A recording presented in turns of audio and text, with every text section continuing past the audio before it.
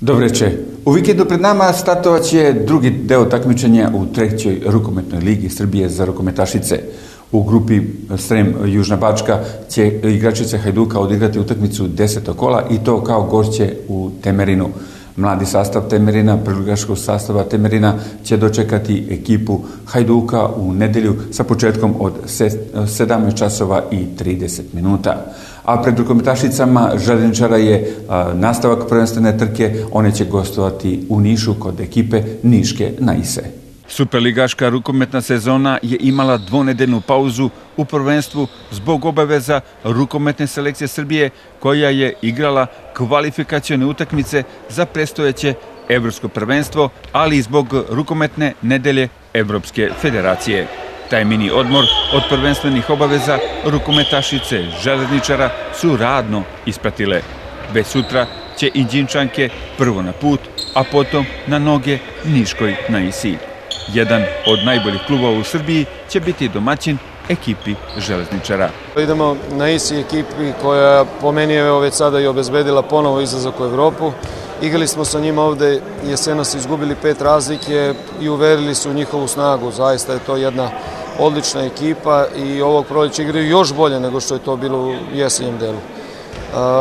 mi smo, nažalost, eto ove nedelje malo nekim pehovima sa sitnim povredama, ali i sa ozbiljnim prehladama, tako da desetovani radimo treninge, što sigurno može da utiče i na kvalitet naše igre.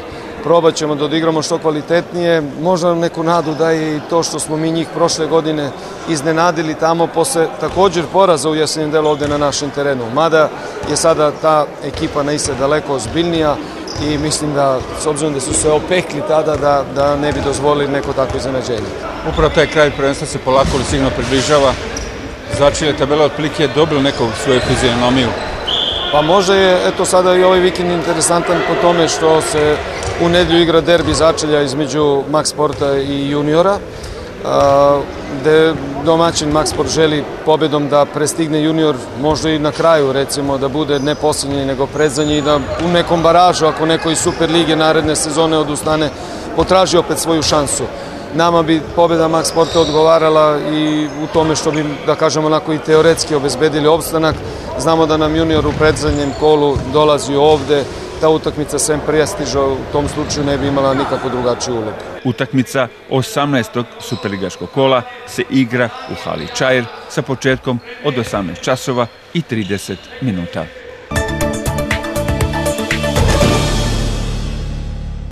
Klub američkog futbala Inđa Indians u vikendu pred nama će odigrati svoju prvu utakmicu u Super Ligi Srbije. Oni će gostati u Kragovcu kod ekipe Divlji Veprovi.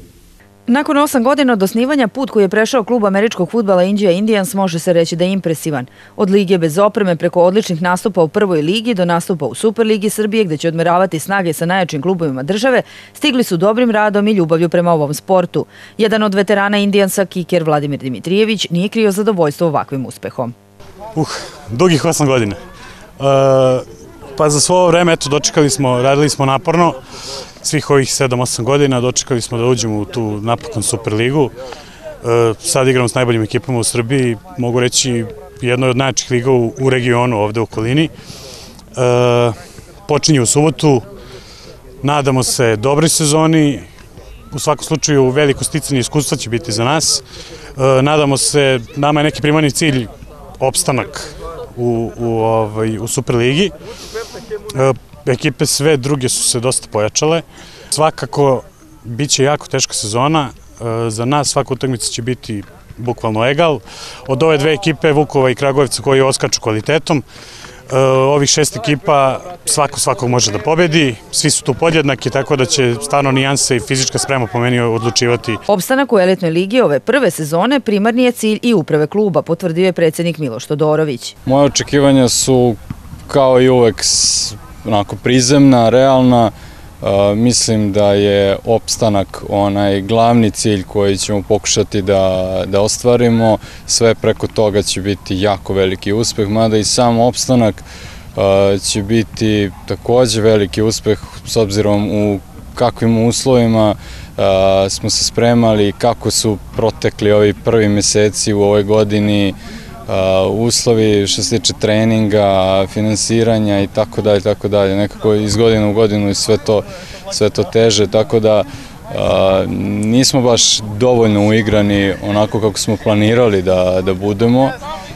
ali nadam se da ćemo, malo smo pojačali treninge u poslednje vreme, trenira se četiri puta nedeljno, tri puta u teretani, pokušavamo da, da nadoknadimo taj neki izgubljeni period, Uh, i kad ponavljam i, i sam opstanak bi bio jako veliki uspeh. Problem je objašnjava Todorović što su uslovi godinama isti, nekad malo lošiji, nekad malo bolji, ali u svakom slučaju ne prate pomak kluba u organizacionom i takmičarskom smislu, u kategorijama i masovnosti, ali pre svega izvanrednim rezultatima koje postižu ovi momci. Da nema, da nema grada i da nema opštine, teško da bismo, ovaj, teško da bismo opstali, ali sve to postaje E, malo za, za, za ovaj neki nivo koji smo, koji smo dostigli, ali opet plivamo i u tome, pokrivamo se onoliko koliko nam je ćebe dugačko ovaj, i nadam se da ćemo izvući ponovo e, maksimum i maksimum iz nas. Da bi se u ovom sportu napredovalo pored dobrog rada, pozitivne energije i ljubavi, potrebna je pomoć iskusnih importa koji doprinose boljoj igri.